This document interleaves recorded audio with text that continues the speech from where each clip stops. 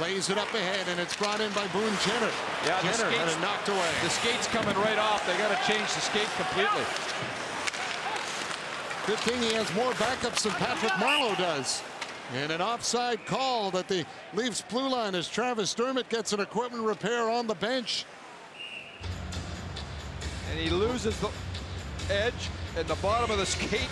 Off it comes. And look at the effort to get back. That takes a lot of skill to be able to make it back one way. His blade almost fell right off there in the end. Travis Dermott, by the way, they couldn't fix the skate.